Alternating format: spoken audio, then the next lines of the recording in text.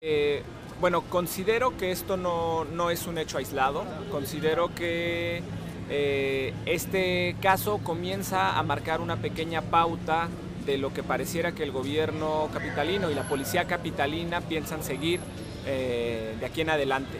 ¿no? Este, ellos siempre se han preocupado mucho por la cuestión de la imagen que dan al exterior. Entonces, cualquier persona que ahora haya estado documentando excesos policiales desde el primero de diciembre, ya sea con el teléfono o con su cámara fotográfica, ahora también está en peligro ¿no? de, de, ser detenida, como en mi caso. La única diferencia es que en este caso yo trabajo para un medio, un medio independiente, pero desde el 1 de diciembre ha habido personas que han sido detenidas eh, simplemente por estar documentando excesos policiales.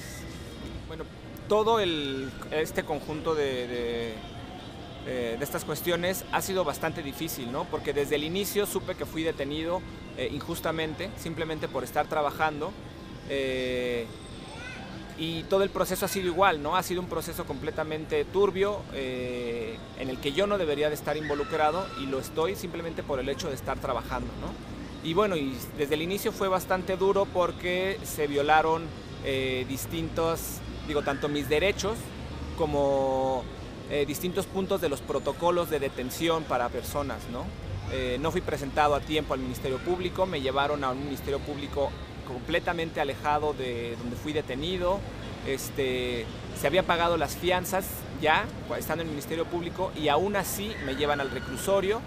Eh, y bueno, y podríamos seguir, ¿no?